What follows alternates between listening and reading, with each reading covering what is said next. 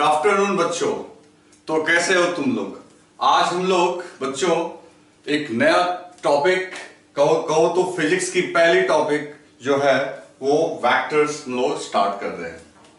देखो, अभी तक हमने बेसिक मैथमेटिक्स में ढेर सारी चीज़ें पढ़ी। आप उन लेक्चर्स को बहुत केयरफुल्ली देखना, ठीक है ना? क्योंकि आप जब फिजिक्स के चैप्टर्स में आओगे, तब तुम्हें समझ में आएगा कि वो कितना इंपॉर्टेंट चीज़ आपको पढ़ाया गया है।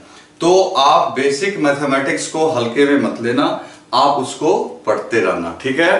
तो बच्चों, हम लोग आज ये ब्रांड न्यू चैप्टर एक नया चैप्टर शुरू करने जा रहे हैं वेक्टर्स ठीक है ना? वेक्टर को हिंदी में हम लोग सदिश बोलते हैं। अब सवाल है कि हमेशा की तरह मैं आपको पहले ये बताता हूँ कि हम लोग कोई चैप्टर पढ़ते क्यों है? क्योंकि बिना इस बात की जानकारी हुए कि किसी चैप्टर को क्यों पढ़ना चाहिए, आपको चैप्टर में मज़ा नहीं आएगा। समझ गए ना? तो आखिर ये वेक्टर्स है क्या? ये सदिश है क्या? क्लियर है? तो देखो, सबसे पहली बात, तुमको मैंने कहा था कि फ़िज़िकल क्वांटिटी होता है। फ़िज़िकल क्वांटिटी हिंदी में बोले तो भौतिक राशि। फ़िज़िकल क्वांटिटी है ना? क्या होता है बच्चों? फ़िज़िकल क्वांटिटी भौतिक राशि। अब ये फ़िज़िकल क्वांटिटी जैसे कि देख लो क्या क्या हो सकता है? जैसे कि फोर्स मास वेलोसिटी और बताओ एनर्जी है ना? फोर्स हो गया आपका, बल मास हो गया, द्रव्यमान वेलोसिटी वेग और एनर्जी हो गई ऊर्जा। अब ये सारी फ़िज़िकल क्वांटिटी फ़िज़िकल क्वांटिटी को रिप्रेजेंट करने के लिए, दर्शाने के लिए क्या क्या चाहिए? तो जैसे मान लो फोर्स है, बल है तो बल में क्या क्या होना चाहिए? बल में क्या क्या होना चाहिए? तो पहली बात कि कितना बल लगेगा? यह बात बताना ज़रूरी है कि कोई पूछेगा, कितना बल लगेगा, कितना फोर्स लगेगा, है ना? तो एक चीज़ है कि मान लो तुमने कहा टेन न्यूटन फोर्स लगेगा। तो जैसे मान लो कि तुम्हें यह कहना है कि मुझे रोटियाँ खानी है तो केवल रोटियाँ खानी है, इससे ये इंफॉर्मेशन कंप्लीट नहीं होता है। यू हैव टू से कि आपको कितनी रोटियाँ खानी है? चार रोटी खानी है, पाँच खानी है, छह खानी है। तो ये जो चार, पाँच, छह जो हुआ ना, इसको बच्चों बोलते हैं मैग्नीट्यूड तो तो आपका फोर्स मान लो किसी के ऊपर हमने दस लगाया। तो खाली दस बोलने से तो नहीं होगा। तो फोर्स की एक यूनिट भी होती है। तो हम लोग एक चैप्टर यूनिट और डायमेंशन भी पढ़ेंगे। ठीक है ना? आगे हम लोग का चैप्टर होगा यूनिट एंड डायमेंशन। छोटा सा चैप्टर है। तो वेक्टर्स के बाद वो हम लोग का आएगा। ठीक है? छोटा सा चैप्टर है बड़ा नहीं है। उसमें हम लोग बताएँगे कि क्वांटिटी की यूनिट क्या होती है, उसका डायमेंशन क्या होता है। तभी उसको लेके आप हेडेक मत लो। अभी ध्यान दो यहाँ पे। तो फोर्स हो गया मैग्नीट्यूड हो गया, दस। और चूँकि ये फोर्स है, अगर ये फोर्स रोटियाँ होती तो लिखते दस रोटियाँ। अगर ये फोर्स बनाना होता तो लिखते टेन बनाना। मैंगो होता तो टेन मैंगो लेकिन ये फोर्स है तो फोर्स का जो है, वो पहचान होता है न्यूटन से। तो ये क्या हो गया? Ten newton. ठीक? जैसे मास है। मास का मतलब है कि कोई बॉडी कितना भारी है, उसमें कितना द्रव्यमान है। तो पहले कितना द्रव्यमान है? तो मान लो कोई 60 का है। तो खाली 60 लिखने से काम नहीं होगा। 60 केजी। क्लियर? तो ये देखो, ये जो मैं बोर्ड पे लिख रहा हूँ ये इसको बोलते हैं परिमाण, यानी मैग्नीट्यूड। तो देखो, फोर्स की मैग्नीट्यूड हो गई 10 न्यूटन, मास की मैग्नीट्यूड हो गई 60 केजी।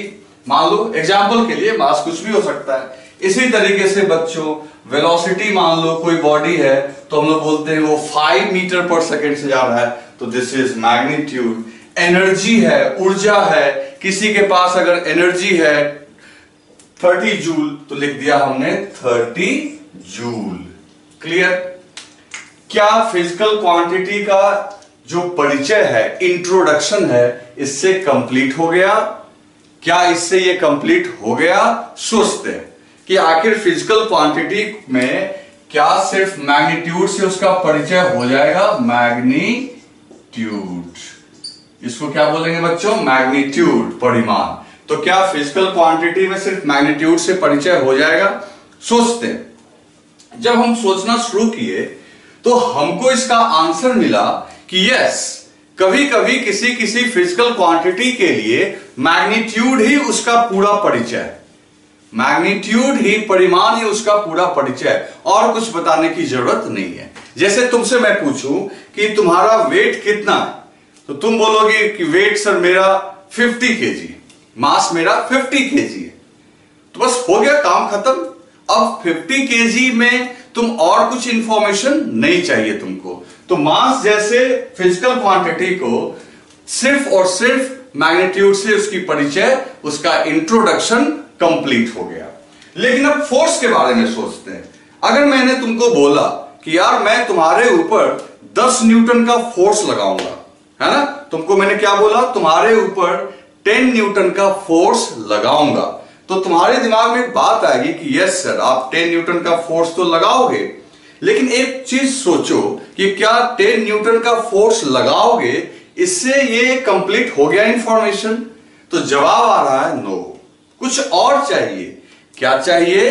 तो ये चाहिए कि सर आप फोर्स किधर लगाएँगे? फोर्स कौन से डायरेक्शन में लगाएँगे? नॉर्थ में लगाएँगे, साउथ में लगाएँगे, अपवर्ड लगाएँगे, डाउनवर्ड लगाएँगे, ऊपर नीचे। तो मतलब कि तुम्हें मैग्नीट्यूड के साथ साथ फोर्स के केस में यू नीड डायरेक्शन। आपको डायरेक्शन भी चाहिए, दिशा चाहिए उसके साथ। जिस, जैसे ये चीज़ आपको वेलोसिटी में भी महसूस होगा। मैं बोलूँगा कि यार तुम फाइव मीटर पर सेकेंड से जा रहे हो, या कोई कार 60 किलोमीटर पर आवर से जा रही है तो क्या ये इंफॉर्मेशन कंप्लीट है? जवाब है नो 60 किलोमीटर पर आवर, ठीक है, उसका मैग्नीट्यूड हो गया, परिमाण हो गया। लेकिन वो 60 किलोमीटर पर आवर से वो कार किधर जा रही है, ये तो बताना होगा भाई लोग। तो कहने का मतलब ये हुआ कि यहाँ पे कुछ क्वांटिटी है in that we need direction हमें क्या चाहिए होता है बच्चों? डायरेक्शन भी चाहिए होता है। डिस्प्लेसमेंट की बात कर लो, विस्थापन। अगर मैं बोलूँ कि यार मैं कल 60 किलोमीटर तक चला गया। अब तुम खुद सोचो 60 किलोमीटर किधर गया? नॉर्थ गया साउथ गया, ऊपर गया, नीचे गया।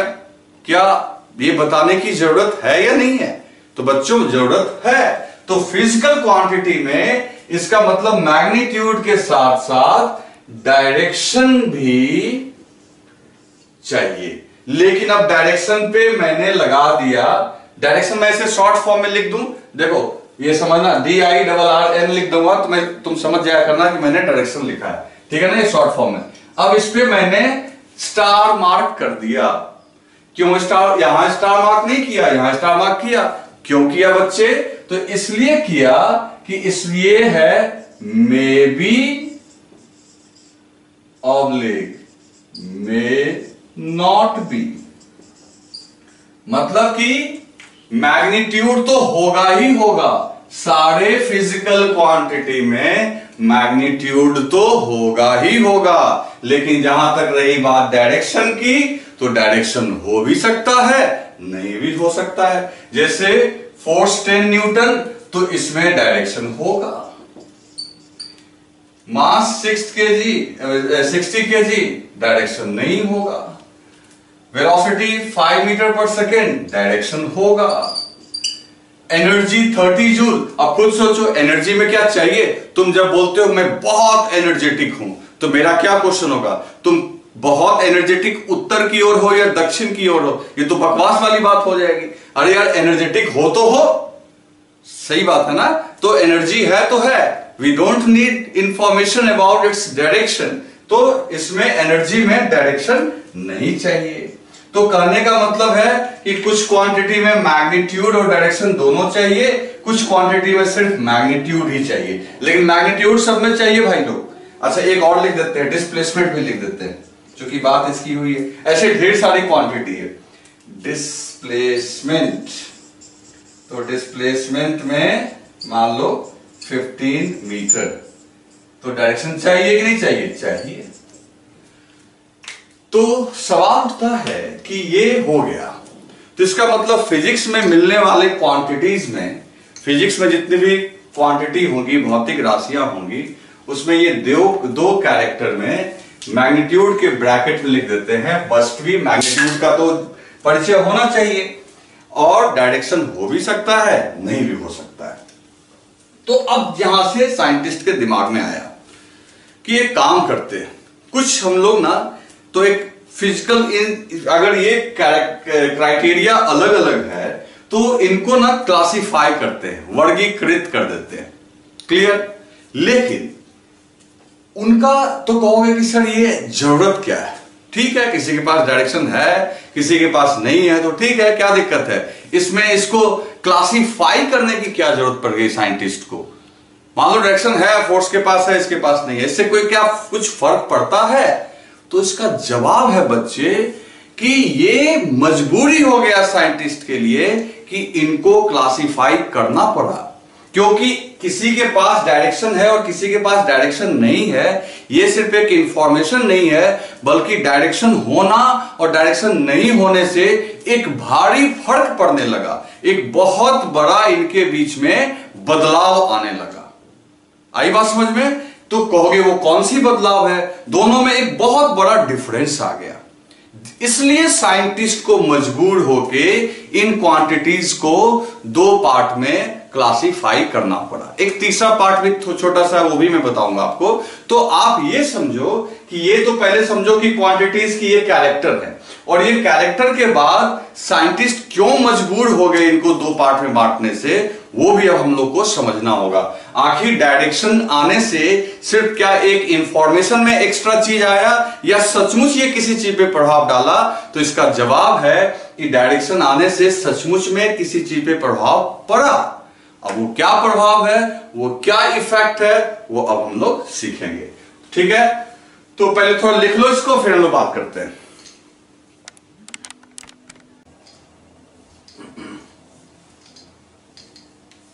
तो दोस्तों, अब सवाल यह है कि आखिर साइंटिस्ट क्यों मजबूर हुए कि एक क्लासिफिकेशन की ज़रूरत है हमें?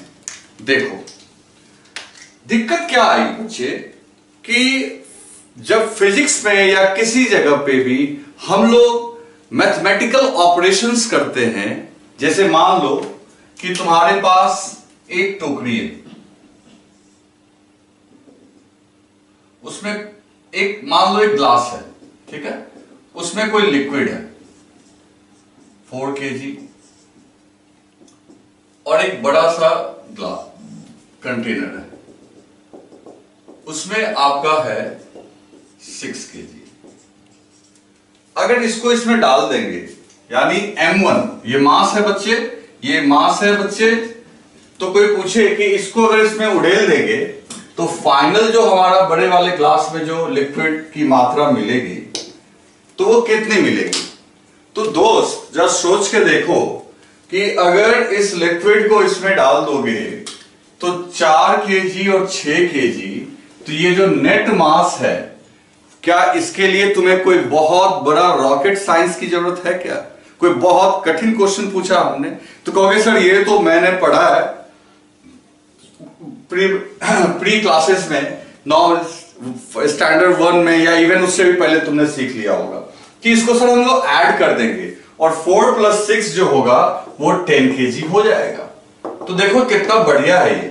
तो बहुत सिंपल तरीके से तुमने क्या कर दिया कि फोर के जी में सिक्स के जी को ऐड करके टेन के जी कर दिया।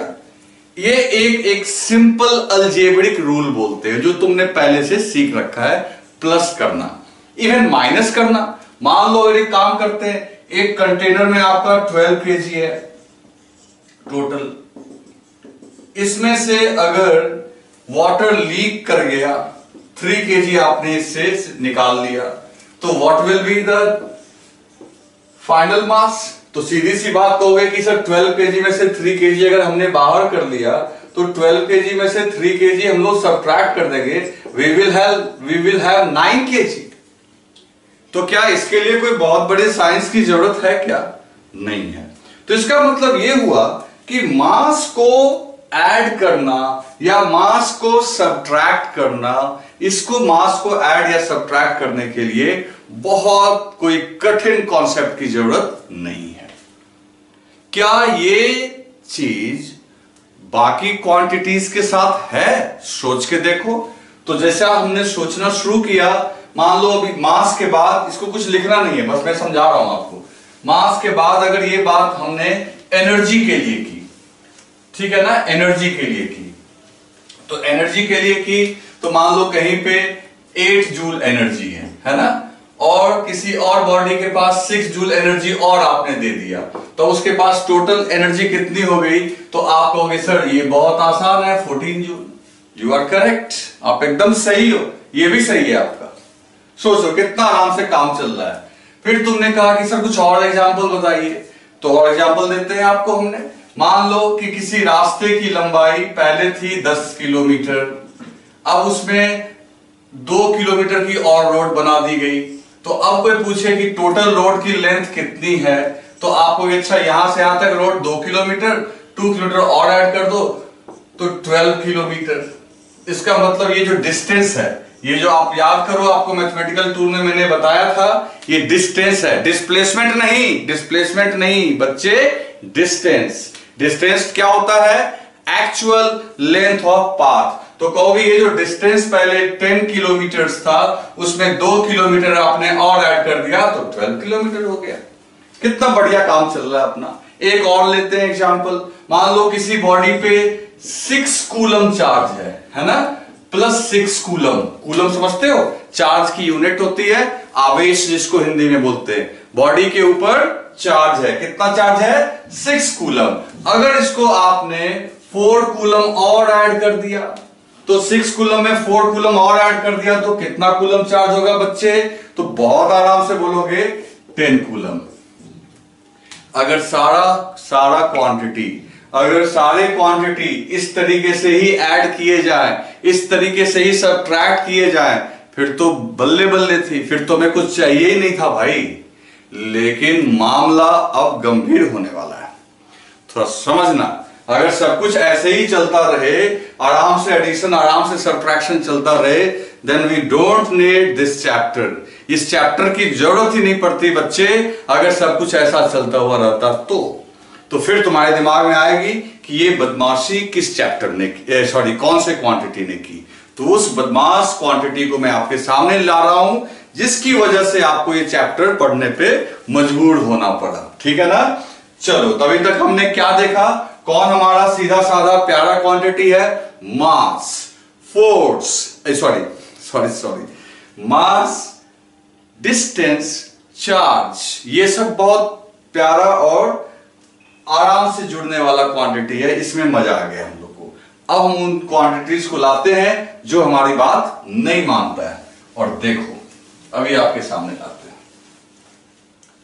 तो अब बात करेंगे हम लोग उस क्वांटिटी की जो हम लोग की बात नहीं सुनता है।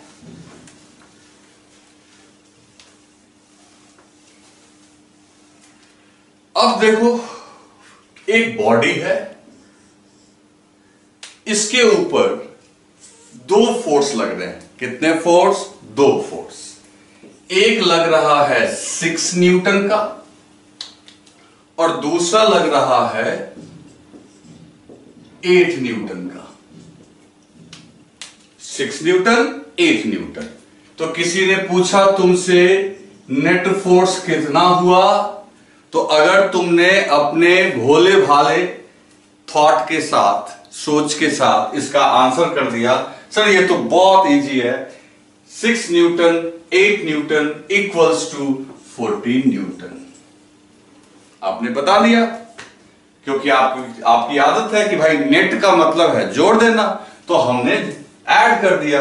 Six newton eight newton equal to fourteen newton लेकिन हम लोग बहुत बड़ी गलती कर चुके हैं।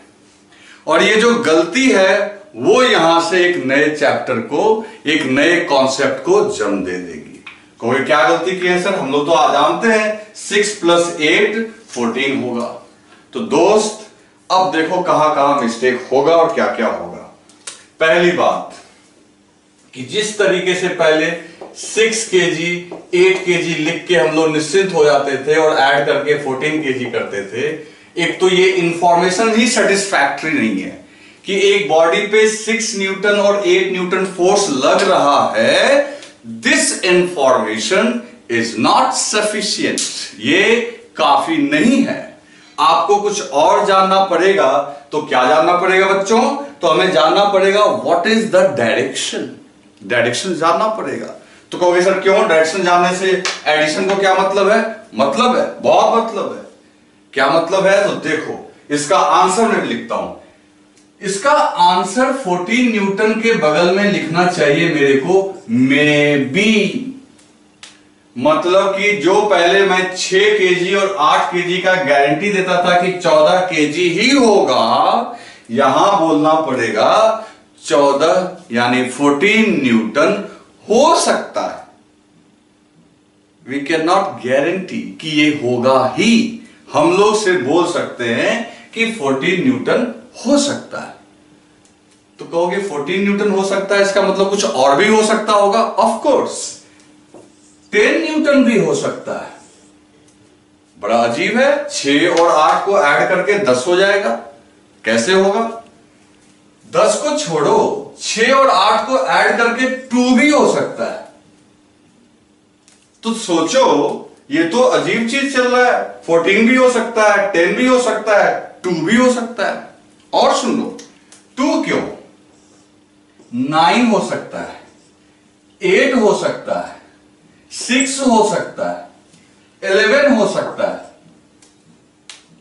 अब देखो कमाल, ये तो भारी चक्कर आ गया भाई। इसका मतलब है कि फोर्स के केस में सिक्स और एट को ऐड करने पे, सिक्स और एट को ऐड करने पे कुछ भी हो सकता है। दो छ आठ, नौ, दस, ग्यारह, चौदह, बारह भी हो सकता है। तो इसका मतलब है, इसका एडिशन हमारे उस मैथमेटिक्स को फॉलो नहीं कर रहा है जो हमने बचपन में सीखा है और जिसको हम बोलते हैं अलजेब्रिक मैथमेटिक्स सिंपल ऑर्डिनरी गुना, भाग, घटा, जोड़, जो तुमने सीखा है। एडिशन सब्ट्रैक्शन जो तुमने ऑर्डिनरी साधारण, जो जिस तरीके से हम लोग ऐड करते हैं, उस तरीके से कहीं ना कहीं ये ऐड नहीं हो रहा है भाई। ऐसा क्यों हुआ? तो देखो यहाँ डायरेक्शन का फैक्टर है। अगर तुम खुद सोचो, अब तुमको मैं लॉजिकली कुछ बताता हूँ। मान लो इस बॉडी पे F1 अब देखो ये एरो क्योंकि फोर्स किसी ना किसी डायरेक्शन में लगेगा। अच्छा ये जो डब्बा बनाया ना मैंने इसको तो मैं पहले ही बोल चुका हूँ इसको ब्लॉक बोलते हैं। क्या बोलते हैं बच्चों? ब्लॉक ब्लॉक ऐसे ही कोई बॉडी हो गया। तो मान लो इस पे F1 फोर्स लगा और इस पे F2 फोर्स लगा। ये एरो का मतलब हो गया इस डायरेक्शन में। तो ये दोनों फोर्स देखो आगे ही लग रहे हैं। तो अगर दोनों मिलके आगे खींचेगा तो इसका आंसर आएगा 14 ठीक है? अगर मान लो इसमें से F2 आगे लग रहा है और F1 पीछे भी तो लग सकता है। एक आगे खींचेगा, दूसरा पीछे तो उस केस में इसका नेट फोर्स का आंसर आएगा टू ऐसा भी हो सकता है कि F1 आगे लग रहा है सॉरी F2 आगे लग रहा है F1 ऊपर लग रहा है। 90 डिग्री के एंगल पे लग रहा है तो उस केस में आएगा 10 और बाकी एंगल्स के लिए भी कुछ ना कुछ वैल्यू आएगा। जिसका मतलब तुम्हारे दिमाग में ये समझ में तुमको आ रहा है कि, सर, इसमें डायरेक्शन आने से दिक्कत क्या हो गई कि इसको नॉर्मल तरीके से तो हम ऐड ही नहीं कर पा रहे? यहाँ पे हमको एडिशन के लिए, यहाँ पे हमको एडिशन के लिए कुछ और सीखना पड़ेगा, क्योंकि फोर्स हमारे नॉर्मल अलजेब्रा को जिसको मास फॉलो कर रहा था फोर्स ने इनकार कर दिया। उसने कहा कि मेरे लिए एक नया एडिशन बनाओ। सिर्फ़ एडिशन ही क्यों? फोर्स बोलेगा, मेरे लिए नया सब्ट्रैक्शन भी बनाओ। सब्ट्रैक्शन ही क्यों? कहेगा, मेरे लिए मल्टीप्लीकेशन भी बनाओ। तो इसका मतलब है कि फोर्स उन क्वांटिटीज में आ गया, जिसके पास मैग्नीट्यूड भी है और डायरेक्शन भी है और साथ ही साथ ये आपके नॉर्मल ऑर्डिनरी अल्जेब्रा को फॉलो करने से मना कर दिया। इसको सब कुछ अब स्पेशलाइज चाहिए। इसको जोड़ने का भी तरीका अपना चाहिए, इसको घटाने का भी तरीका अपना चाहिए मल्टीप्लाई का भी तरीका अपना चाहिए। हाँ यहाँ डिवीज़न नहीं होता है। ये डिवीज़न के जाए कि हाँ तीसरा चीज़ आएगा रिजोल्यूशन बाद में बात करेंगे। तो इस तरीके से बच्चों, अब साइंटिस्ट मजबूर हो गए। अब उन्हें दो कैटेगरी बनानी पड़ गई। एक कैटेगरी जिसके पास मैग्नीट्यूड है और वो हमारे ऑर्डिनरी मैथमेटिक्स को फॉलो करने के लिए राज़ी है। और एक दूसरी कैटेगरी जिसके पास मैग्नीट्यूड है, डायरेक्शन है, लेकिन वो हमारे ऑर्डिनरी मैथमेटिक्स को फॉलो नहीं कर रहा है। वो एक नया मैथमेटिक्स को फॉलो करेगा और बच्चे, उस मैथमेटिक्स का नाम है वैक्टोरियल मैथमेटिक्स क्या नाम है? वैक्टोरियल मैथमेटिक्स तो अब बताओ, अगर हम लोग वैक्टोरियल मैथमेटिक्स नहीं सीखेंगे तो इन क्वांटिटीज को like force velocity acceleration momentum क्या इनको ऐड कर पाएँगे? क्या इनको सब्ट्रैक्ट कर पाएँगे? क्या इनको मल्टीप्लाई कर पाएँगे? तो आंसर है ऑफ़ कोर्स नॉट तो अपने को क्या चाहिए? अपने को अब सीखना पड़ेगा। अपने को सीखना पड़ेगा कि इनको हम कैसे ऐड करें, क्या करें, नहीं करें। तो वहाँ से हमारा चैप्टर जन्म लेगा। वेक्टर्स अच्छा ये भी अब आगे इसमें मैं बताऊँगा एक, एक एक दो एक्सेप्शन भी है। एक दो एक्सेप्शनल क्वांटिटी भी है जो मैग्नीट्यूड भी है बेचारे के पास डायरेक्शन भी है बट तब भी वो ऑर्डिनरी को फॉलो करने को तैयार है। ऐसा एक दो है बस। लेकिन मैक्सिमम इस बात को इनकार कर दिया भाई। मैक्सिमम ने इस बात को इनकार कर दिया कि मैं फॉलो नहीं करूँगा आपके ऑर्डिनरी मैथमेटिक्स को। तो इसका मतलब है कि बच्चे, ये साइंटिस्ट ने कोई शौक से कोई मौज मस्ती के लिए दो क्वांटिटी को कैटेगरी में नहीं बांटा, बल्कि उनकी मजबूरी थी, क्योंकि ये क्वांटिटीज जो है, वो एक नया मैथमेटिक्स को फॉलो करने के लिए तैयार है। तो इसलिए बच्चों, अब समझो इस चैप्टर का इंपॉर्टेंस अगर ये चैप्टर आप नहीं पढ़ोगे तब तो कभी भी फोर्स को पूरे फिजिक्स में डील ही नहीं कर पाओगे, क्योंकि फोर्स हमेशा दूसरे तरीके से ही ऐड होता रहेगा और आपको वो एडिशन ही नहीं आता होगा। फोर्स दूसरे तरीके से सब्ट्रैक्ट होता होगा, दूसरे तरीके से मल्टीप्लाई होता होगा। तो अगर आप ये नहीं सीख पाओगे तो फिजिक्स तो फिर खत्म। तो इसलिए ये चैप्टर जिस तरीके से कैलकुलस वगैरह इंपॉर्टेंट है, वह उससे कहीं ज़्यादा इंपॉर्टेंट है आपका वेक्टर्स क्लियर हो गया? चलो। तो अब समझ में आया चैप्टर क्यों हुआ? तो अब हम लोग पढ़ना शुरू करते हैं। एक हालाँकि पढ़ाई ही कर रहे हैं बच्चे, लेकिन अब हम लोग आ जाते हैं कि फ़िज़िकल क्वांटिटी को। साइंटिस्ट ने क्या किया कि इस यूनिवर्स में जितने भी फ़िज़िकल क्वांटिटी है, उन्होंने उसको क्लासिफाई किया। कितने कैटेगरी में? In two category one is vectors and दूसरे का नाम तुमने बचपन यानी नाइन्थ क्लास में भी सुना होगा स्केलर्स वैक्टर्स स्केलर्स और एक तीसरा क्वांटिटी भी होता है, उसकी भी बात होगी दैट इज़ टेंसर्स लेकिन नाउ हम लोग टेंसर्स को कैटेगराइज कर चुके हैं स्केलर में so we don't need detail analysis of tensors okay तो हम लोग को यहाँ पे सीखना वेक्टर्स जिसको हिंदी में सदिश राशि बोलेंगे एंड स्केलर्स अदिश राशि। तो हम लोग अब इसको स्टार्ट करने जा रहे हैं। तो बच्चों, अब हम यहाँ से देखते हैं कि फ़िज़िकल क्वांटिटी को फ़िज़िकल क्वांटिटीज दो पार्ट में क्लासिफाई किए। कौन कौन सा? वेक्टर्स और दूसरा हो गया स्केलर्स है ना? तो साइंटिस्ट ने ये दो क्वांटिटी क्लासिफाई किया वेक्टर एंड स्केलर ठीक है? तो हम लोग का ये चैप्टर हम लोग को वेक्टर ही पढ़ना है। स्केलर तो आप जानते ही हो। स्केलर के लिए वेक्टर क्यों पढ़ना है भाई? तो वेक्टर की मैथमेटिक्स सीखनी है। वेक्टर किस तरीके से ऑपरेट होता है, इसके लिए पूरी मैथमेटिक्स सीखनी है। किसके लिए? वेक्टर्स के लिए। समझ गए ना? तो हम लोग सबसे पहले वेक्टर्स पढ़ेंगे। ठीक है? तो वेक्टर्स पढ़ेंगे।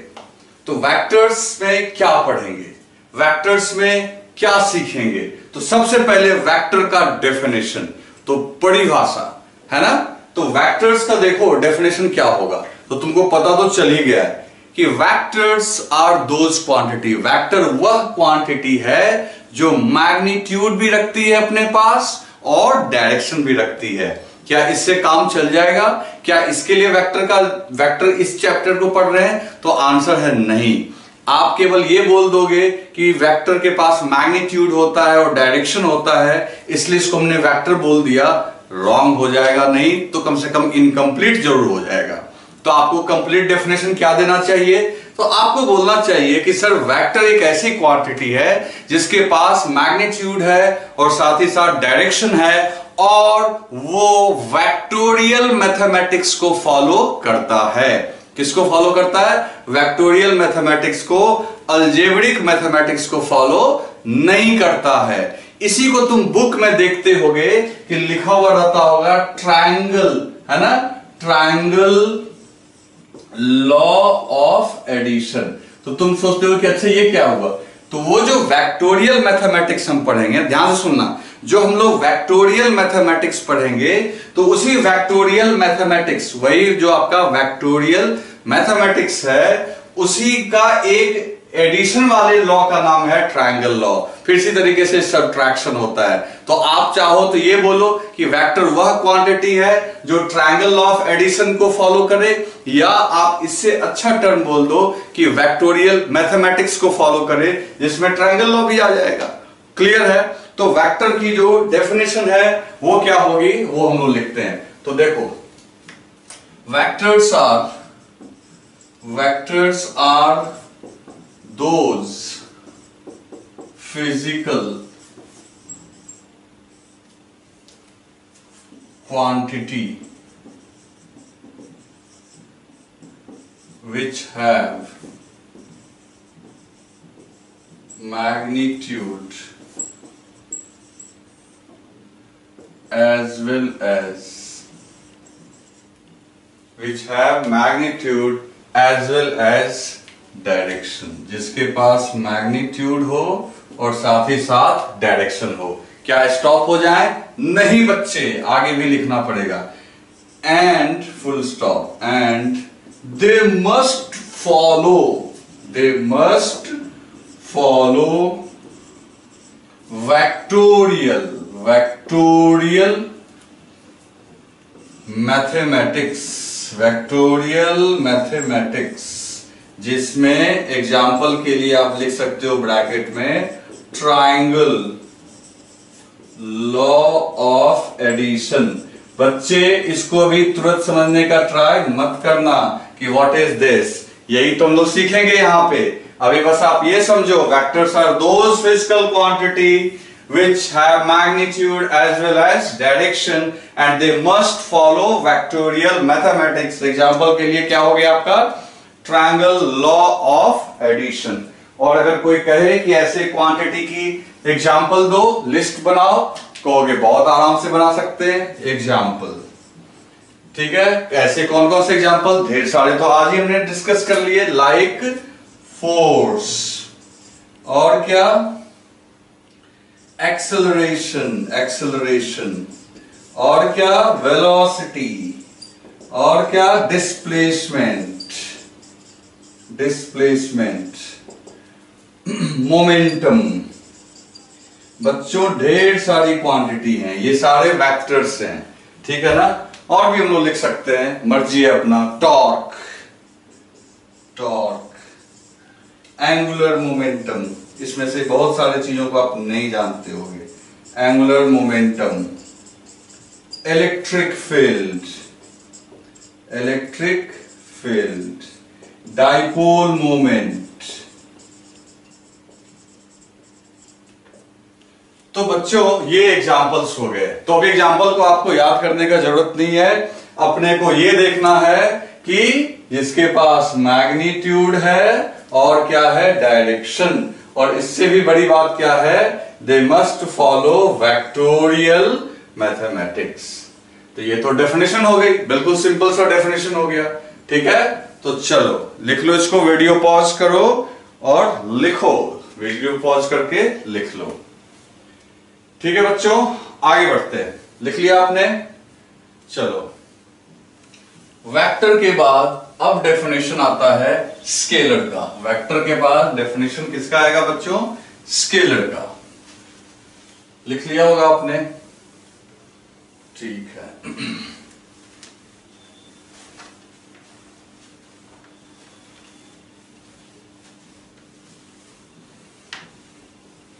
तो अब डेफिनेशन आया स्केलर का। अब स्केलर में क्या हम लिखेंगे? सो देखो। Scalars. Scalars. So scalars are those physical quantity which have magnitude only. जिसके पास सिर्फ़ क्या हो? मैग्नीट्यूड वनली जनरली अब देखो एक टर्म मैं लिखूँगा आप थोड़ा ध्यान देना। Generally they don't have, they don't have direction. Generally उनके पास डायरेक्शन नहीं होता है। अब सवाल ये उठता है बच्चे, मैंने जनरली शब्द का यूज़ क्यों किया? मैंने सीधा क्यों नहीं लिखा कि दे डोंट हैव डायरेक्शन देखो, अगर मैं जनरली नहीं लिखूँगा और सिर्फ़ लिख दूँगा दे डोंट हैव डायरेक्शन तो इसका मतलब ये हो जाएगा कि मैं गारंटी दे रहा हूँ कि दुनिया में यूनिवर्स में एक भी ऐसी क्वांटिटी नहीं है जिसके पास कोई भी ऐसी कोई भी ऐसा स्केलर नहीं है जिसके पास डायरेक्शन हो। सारे स्केलर्स के पास डायरेक्शन नहीं होते हैं। अगर मैं ये नहीं लिखता तो। लेकिन जनरली लिख देने से क्या हो गया कि मैंने एक एक्सेप्शन एक अपवाद का जगह छोड़ दिया।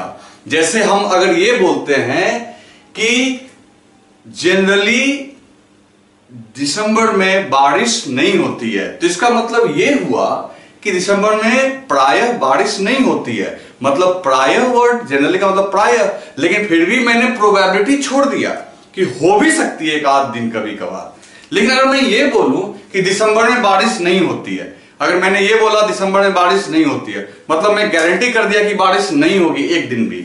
अगर मैं ये बोलता हूँ कि दिसंबर में प्रायः बारिश नहीं होती है तो दिसंबर में अगर प्रायः बारिश नहीं होती है, इसका मतलब है कि एक आध दिन हो सकती है। तो यही चीज़ आप यहाँ पे देखो कि generally do they don't have direction तो अगर तुमसे कोई पूछे, क्या स्केलर के पास सिर्फ़ मैग्नीट्यूड होता है? तो कहो यस कोई पूछेगा डायरेक्शन तो कहो जनरली दे डोंट हैव मतलब कि उनके पास नॉर्मली ये नहीं होता है, लेकिन एक्सेप्शन इसका है। इसलिए हमने क्या लिख लिया? Generally they don't have direction लेकिन इसका एक और कैरेक्टर है जो सब करेगा, तभी स्केलर है। एंड देखो मैं क्या लिखा हुआ, लिख रहा हूँ। And they follow they follow algebraic algebraic mathematics बच्चे स्केलर के पास मैग्नीट्यूड होता है generally they don't have direction सिर्फ़ मैग्नीट्यूड होता है, और ये सबसे खास बात है कि वो अल्जेब्रिक मैथमेटिक्स को फॉलो करता है। वो किसको फॉलो करता है बच्चों? अल्जेब्रिक मैथमेटिक्स को। वो किसको फॉलो करता है? अल्जेब्रिक मैथमेटिक्स को। तो उसको हम लोग क्या बोलते हैं? स्केलर तो स्केलर के साथ आप याद रखेंगे मैग्नीट्यूड भी नहीं होगा और डायरेक्शन भी नहीं होगा। प्राय अगर हो भी तो भी वो अल्जेब्रिक मैथमेटिक्स को चूँकि फॉलो करता है, इसलिए उसका क्या नाम है? स्केलर एग्ज़ाम्पल देखते हैं। तो एग्ज़ाम्पल के लिए देखो, बहुत सिंपल है। तो एग्ज़ाम्पल में क्या क्या हो जाएगा? मास जिसकी बात हम लोग बहुत बार आज कर रहे हैं। मास हो गया डिस्टेंस डिस्टेंस, स्पीड स्पीड हो गया। और क्या हो गया बच्चे? वर्क, पावर, बहुत सारी क्वांटिटी है। Energy, charge. ये ट्वेल्थ का भी दो तीन एग्जांपल लिख देता हूँ मैं। Electric flux electric flux clear है? पोटेंशियल एनर्जी हालाँकि एनर्जी लिख दिया था तो हो ही गया। तो इस तरीके से बच्चों, ये ढेर सारे एग्जाम्पल्स हैं जो सिर्फ़ मैग्नीट्यूड रखते हैं डायरेक्शन नहीं रखते। और सीधी सी बात है, ये कौन से मैथमेटिक्स को फॉलो करते हैं? अल्जेब्रिक मैथमेटिक्स को ये फॉलो करते हैं। वैक्टोरियल मैथमेटिक्स को फॉलो नहीं करते। अब आपके दिमाग में एक बात आ रही होगी, ठीक है? अब आपके दिमाग में एक बात आ रही होगी कि, सर, ऐसा है कि कुछ क्वांटिटी है ना? कुछ क्वांटिटी आपने जब बोला कि ये, कि वो स्केलर है, इसके बावजूद उनके पास डायरेक्शन है तो क्या ऐसी कोई क्वांटिटी है? तो इसका आंसर है यस अब उस क्वांटिटी के बारे में बात करता हूँ। तो पहले आप वीडियो पॉज करो। आप वीडियो पॉज करो और इसको एक बार लिख लो ओके तो बच्चों, अब देखते हैं हम लोग क्वांटिटी कौन है। तो देखो, एक क्वांटिटी है करंट करंट अब ये करंट क्या है? करंट के पास मैग्नीट्यूड भी है। मैग्नीट्यूड तो होगा ही फ़िज़िकल क्वांटिटी मैग्नीट्यूड भी होगा। और क्या है? डायरेक्शन भी है। डायरेक्शन कैसे है? तो इट तुमने पढ़ा होगा टेंथ क्लास में it always flows opposite to direction of flow of current sorry electron direction of flow of electron electrons. ये इलेक्ट्रॉन्स के डायरेक्शन के अपोजिट फ्लो होता है। जैसे मान लो ये वायर है। याद लो टेंथ क्लास तुमने। अब इस वायर में मान लो इलेक्ट्रॉन्स इधर फ्लो हो रहे हैं। तो स्वाभाविक सी बात है, तुम्हें बताया गया था कि इलेक्ट्रॉन धारा जो है, धारा करंट को धारा बोलते हैं तो धारा जो है इलेक्ट्रॉन के फ्लो करने के अपोजिट तो अगर इलेक्ट्रॉन्स इधर आ रहे हैं तो ऑटोमेटिकली करंट आपका इधर जा रहा होगा। तो देखो ये एरो बना के हमने दिखा दिया करंट इधर जा रहा है। तो इसके पास मैग्नीट्यूड भी है डायरेक्शन भी है बट स्टिल करंट जो है, वो क्या है एक स्केलर क्वांटिटी करंट क्या है? स्केलर क्वांटिटी है। क्यों भाई? Because because it does not follow vectorial vectorial mathematics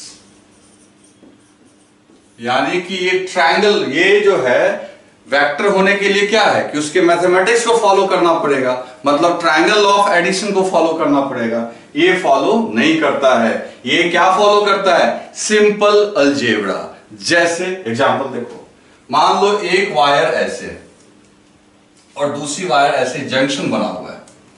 clear अब इधर से करंट आ रहा है थ्री एम्पियर और इधर से करंट आ रहा है फोर एम्पियर अब ये दोनों करंट यहाँ पे ज्वाइन होगा। अब देखो इन दोनों वायर्स के बीच का डिस्टेंस आपका 90 डिग्री है। डिस्टेंस बोलते हैं एंगल 90 डिग्री है।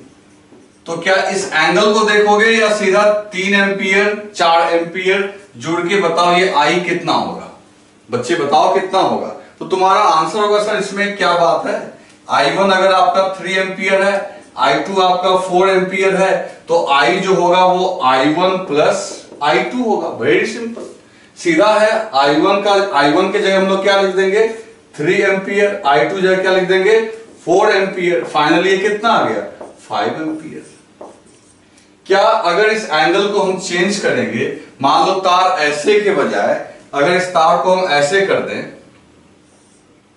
अब बताना कि अब अगर ये I1 है, ये I2 है, और इन दोनों के बीच का एंगल 30 डिग्री है तो बताना I की वैल्यू कितनी होगी अगर ये 3 एम्पियर है और अगर ये सॉरी 3 और 4 है ना? क्या मैं भी लिख रहा हूँ 7 एम्पियर तो 3 और 4 कितना हो जाएगा बच्चे? 7 क्योंकि तीन और चार कितना होगा? सात? ये तो देखो, क्या सिली मिस्टेक हो गया मेरे से। तीन और चार कितना होगा बच्चे? सात। अगर मान लो कि ये इस तरीके से हो थ्री एम्पियर और फोर एम्पियर और एंगल क्या बना दे? तीस डिग्री का। तो तुम्हें क्या लगता है कि अब आई का वैल्यू तुम कुछ और लिखोगे? बिल्कुल नहीं लिखोगे। अगर 90 है तो भी आपको अल्टीमेटली यहाँ पे आने वाले करंट से मतलब है। तो इधर से थ्री एम्पियर आया, इधर से फोर एम्पियर आया, जुड़ के कितना निकला? सेवन तो इस केस में भी अगर इधर से थ्री इधर से फोर तो अल्टीमेटली यहाँ से कितना निकलेगा? सेवन क्या एंगल पे डिपेंड कर रहा है? नहीं कर रहा है। ये सिंपल अलजेब्रा को फॉलो कर रहा है कि थ्री प्लस फोर क्या हो रहा है? सेवन अगर ये वेक्टर होता तो एंगल पे डिपेंड करता। तो इसके पास देखो डायरेक्शन है। तब भी ये स्केलर क्वांटिटी इसलिए है क्योंकि ये फॉलो नहीं कर रहा है वेक्टोरियल मैथमेटिक्स क्लियर हो गया बच्चों?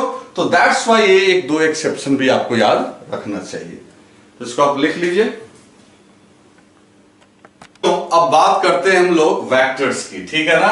तो अब ये डेफिनेशन के बाद अब आ जाओ वेक्टर्स पे, ठीक है? कल वाले वीडियो में, जब कल जो आएगा, उसमें मैं आपको थोड़ा टेंसर के बारे में बता दूँगा। तो पहले लोग वेक्टर्स के बारे में बात करते हैं। तो वैक्टर्स के बारे में आप क्या बात करें? तो सबसे पहले रिप्रेजेंटेशन रिप्रेजेंटेशन मतलब वेक्टर को रिप्रेजेंट कैसे करते हैं? कैसे किसी क्वांटिटी को देखने के बाद तुम्हें पता चलेगा कि दिस इज़ वेक्टर ये कैसे पता लगेगा? तो बच्चे देखो, जैसे मान लो, सबसे पहली बात, दो टाइप का रिप्रेजेंटेशन बताएँगे। एक रिप्रेजेंटेशन होगा सिंबॉलिक तो सबसे पहले हम लोग सिंबॉलिक रिप्रेजेंटेशन की बात करते हैं। Symbolic symbolic representation symbolic representation तो सिंबॉलिक रिप्रेजेंटेशन की बात करें अगर हम लोग तो देखो इसमें क्या करना है। तो सिंबॉलिक रिप्रेजेंटेशन में क्या करना है, उस बात को समझो। जैसे मान लो कि आपका वेलोसिटी अब ये वी लिख दिया वेलोसिटी अब मेरे को ये बताना है कि ये वेक्टर है तो you just have to put an arrow over the letter है ना? तो इसके ऊपर आपने लेटर पुट कर दिया तो ये क्या हो गया? वेक्टर जैसे फोर्स वेक्टर है तो एरो लगा दिया। मोमेंटम वेक्टर है तो क्या लगा दिया? एरो लगा दिया। समझ गए ना? अब ये एरो ना, ये मत समझना कि वेलोसिटी इस डायरेक्शन में है। एक बात समझ लो, जैसे बहुत बच्चों को ये कंफ्यूजन होता है कि सर, ऐसे एरो का मतलब वेलोसिटी इधर हो गया। भैया, ऐसा है कि दिस इज़ सिंबल अब जैसे कोई तुम एडवर्टीजमेंट देखते हो, उसमें ऐसे आपको बना के लिखा हुआ रहता है, ऐसे लिखा हुआ रहता है और आगे नंबर कुछ ना कुछ लिखा रहता है। तो इसका मतलब क्या, ये फ़ोन थोड़ी हो गया? ये फ़ोन का एक सिंबल है। अब ऐसा नहीं है ना कि यहाँ पे जाके तुम बटन दबाने लगो और फ़ोन लग जाएगा। तो ये एक सिंबल है कि भैया वेक्टर है। तो ये एरो ऐसे है, इसका मतलब है कि ये एक वेक्टर है। इसका मतलब कभी ये ये मैं इसलिए बोल रहा हूँ ना कि जब ऑफलाइन क्लास में मैं पढ़ाता था तो उसमें कुछ बच्चों को ना ये कंफ्यूजन होता था कि इधर एरो का मतलब कहीं वेलोसिटी इधर तो नहीं जा रहा। दिस इज़ जस्ट सिंबल आप इस एरो को इधर भी दिखा सकते हो बस उसके ऊपर एक एरो होना चाहिए। तो बच्चों वेक्टर को सिंबॉलिक रिप्रेजेंट करने का सबसे आसान तरीका है कि आप उसके ऊपर एक एरो बना दो। मान लो वेक्टर ए एक एरो हो गया। बी एक वेक्टर है एरो बना दो। क्लियर हाँ। एक रिप्रेजेंटेशन और है, उसको हम लोग देखते हैं। ठीक है बच्चों? अब एक चीज़ और समझो। कुछ वेक्टर जो हम लोग देखेंगे नेक्स्ट क्लास में, वो स्पेशल टाइप का वेक्टर होता है, उसका नाम होता है यूनिट वेक्टर क्या होता है? यूनिट वेक्टर अभी समझने का ट्राई मत करना। ये कल वाले क्लास में आपको समझ में आएगा। यूनिट वेक्टर्स ठीक है ना? यूनिट वेक्टर्स वो वेक्टर्स होते हैं जिनका मैग्नीट्यूड वन होता है। इसके बारे में डिटेल जानकारी कल मिलेगी, लेकिन चूँकि रिप्रेजेंटेशन की बात चल रही है तो इसके बारे में थोड़ा बात करते हैं। मान लो एक वेक्टर है, मान लेते हैं, कोई वेक्टर है सी और ये यूनिट वेक्टर है मतलब इसका मैग्नीट्यूड वन है। तो इसको कैसे रिप्रेजेंट करेंगे बच्चे? तो इसके ऊपर एरो देने के बजाय इसको टोपी पहना दो। ऐसे कैप लगा दोगे तो ये क्या कहलाएगा? यूनिट वेक्टर तो नॉर्मल वेक्टर्स जो कि जिनका मैग्नीट्यूड दो, चार, पाँच, छह, दस कुछ भी हो, उनके लिए एरो का इस्तेमाल करेंगे और इसके लिए किसका यूज़ करेंगे? कैप का। किसका यूज़ करेंगे? कैप का। क्लियर हो गया आपको? चलो। तो ये हो गया आपका यूनिट वेक्टर्स तो ये हो गया सिंबॉलिक रिप्रेजेंटेशन बहुत सिंपल है, कोई दिक्कत नहीं है। चलो, अब एक बात करते हैं। जैसे मान लो कि ये कोई वेक्टर ए है। अब जब वेक्टर है तो फ़िलहाल इसमें मैग्नीट्यूड भी है और क्या है? डायरेक्शन। मेरे को ना मन है कि इसका सिर्फ़ मैग्नीट्यूड लिखने का। मतलब वेक्टर को एक ऐसा काम करने का कि सिर्फ़ इसका क्या रहे? मैग्नीट्यूड सिर्फ़। तो हम लोग क्या करेंगे बच्चे? तो ए को हम लोग डाल देंगे मॉड में। ये मॉड समझते हो? ये मॉड मैथमेटिक्स का होता है। मॉड जो होता है, ये एक जैकेट की तरह है। इसके अंदर कुछ भी रखोगे तो फाइनली वो प्लस होके ही निकलेगा। अगर प्लस रखोगे तो प्लस निकलेगा, और अगर माइनस टू भी रखोगे तो ये जैकेट उसको क्या कर देगा, एक अपने तरफ़ से माइनस लगा के फाइनली क्या कर देगा प्लस मतलब मॉड क्या करता है, किसी भी क्वांटिटी को, जो क्वांटिटी उसके अंदर रहती है, उसको कन्वर्ट कर देता है किसमें? प्लस में। तो अब देखो यहाँ पे क्या किया हमने। अगर किसी वेक्टर को ये जैकेट पहना दोगे तो बच्चे, फिर क्या होगा? ये जैकेट पहनाते के साथ यहाँ एक खास बात होगी। जैसे यहाँ गारंटी मिला प्लस होने का, यहाँ वेक्टर को जैकेट पहनाने का क्या होगा कि इसका डायरेक्शन हो जाएगा गायब। अब मतलब ये क्या हो गया? ये सिर्फ़ only magnitude magnitude of vector A ये वेक्टर ए का सिर्फ़ क्या हुआ? मैग्नीट्यूड तो किसी वेक्टर के सिर्फ़ मैग्नीट्यूड को दिखाना है तो उसको मॉड में डाल दो। और अगर तुम चाहते हो कि मैग्नीट्यूड डायरेक्शन दोनों रहे तो आप ऐसे लिखो। मैग्नीट्यूड में डालना है तो मॉड लगा दो सिर्फ़ क्लियर है? अब एक बात सोचो कि तुम कहोगे कि सर इसके मैग्नीट्यूड को दिखाने के लिए ये मॉड ही क्यों लगाना पड़ा मेरे को? मॉड लगाने का क्या फ़र्क पड़ा? तो सुनो, यहाँ से एक बात समझ में हमको आती है। ध्यान से सुनना, ये बात हमेशा काम आएगा कि इट मीन्स इसका अर्थ हुआ बच्चे it means magnitude of vector vector is always positive मतलब कि पॉजिटिव ऐसे प्लस का साइन दिया मतलब क्या हो गया? पॉजिटिव इसका मतलब ये हुआ it means magnitude of vector is always positive vector की मैग्नीट्यूड क्या होगी? पॉजिटिव वेक्टर की मैग्नीट्यूड क्या होगी बच्चों? पॉजिटिव किसी भी हालत में क्या होगी? पॉजिटिव क्लियर हुआ? तो इसका मतलब क्या हुआ बच्चे? कि अगर कल को बोले कोई, जैसे तुमको बोल दे ऐसे कि velocity is equal to minus two metre per second. अब तुम कहोगे कि, sir, minus two metre per second का क्या मतलब हुआ? तो इसका मतलब यह हुआ कि वेलोसिटी का मैग्नीट्यूड होता है दो मीटर पर सेकेंड, और ये माइनस साइन जो है आगे दिस इज़ फॉर डायरेक्शन कि पार्टिकल जो है, वो नेगेटिव एक्स एक्सिस में जा रहा है। मतलब कि अगर vector minus two metre per second है। अगर velocity minus two metre per second है तो ये समझना होगा कि जब इसके मैग्नीट्यूड की बात करोगे तो मॉड में डाल दोगे। मॉड में जैसे ही डाल दोगे, माइनस गायब हो जाएगा। तो मैग्नीट्यूड तो हुआ टू।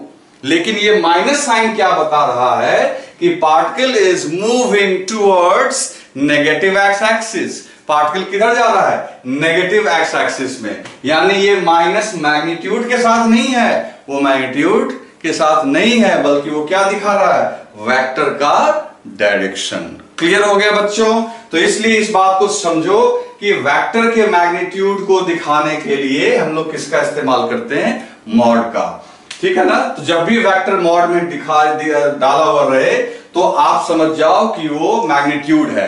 एक और इसका रिप्रेजेंटेशन है, वो भी यूज़ होता है। जैसे मान लो कि ये वेक्टर है ए इसको आपने मॉड में डाल दिया तो क्या मिला सिर्फ़ तुमको? मैग्नीट्यूड ऑफ़ ए अब क्या है कि इसको तुम चाहो तो सिर्फ़ ऐसे भी लिख सकते हो। आपको ना एरो भी हटा दो और मॉड भी हटा दो। तो सीधी सी बात है, देखो, फिर से कंफ्यूज मत होना। अगर वेक्टर के ऊपर एरो है, तब तो ये वेक्टर हो गया। मॉड में डाल दिया तो केवल मैग्नीट्यूड है। एक काम और कर सकते हो, मॉड को भी हटा दो एरो को भी हटा दो, सीधा क्या लिख दो? ए आई बात समझ में?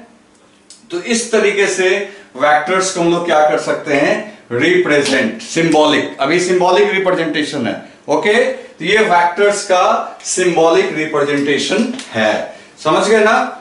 और ये भी खास हम लोग जाने क्या? कि वेक्टर का जो मैग्नीट्यूड होता है वो ऑलवेज पॉजिटिव होता है। ठीक है बच्चों? तो आज तो इंट्रोडक्शन था, कल रियल क्लास होगा कल आपको मैं पढ़ाऊँगा, जैसे इसका एक सिंबॉलिक रिप्रेजेंटेशन कल मैं इसका ग्राफिकल रिप्रेजेंटेशन वेक्टर्स का एंगल वेक्टर्स का टाइप कल ढेर सारी बातें होंगी इसी टाइम पे, ठीक है? आज इंट्रोडक्शन था, कल से हम लोग इसको आगे और बढ़ाएँगे।